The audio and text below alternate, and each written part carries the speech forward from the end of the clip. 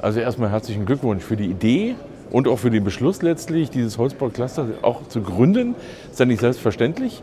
Letztlich, glaube ich, geht es darum, und das zeigt ja ein Stück weit auch schon die Messe hier, dass es darum geht, die Produktionseinheiten, die Wirtschaft, die Industrie zusammenzuführen, die sich mit dem Thema Holzbau in besonderer Weise treffen und damit auch, glaube, Statements setzen, dass wir ökologisch bauen können, auch in Brandenburg bauen können.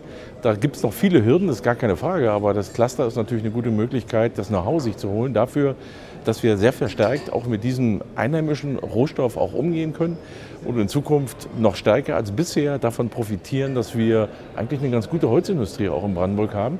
Und das macht mich auch ein bisschen stolz und ich kann da nur beglückwünschen, dass wir das alles gut auch unter einem Rahmen, auch mit dem MIL, auch natürlich mit den Berlinern äh, zusammen denken und vor allen Dingen zusammen handeln. Und ich bin neugierig, was es an Neues auch letztlich mit diesem Tag verbunden hier vor Ort gibt.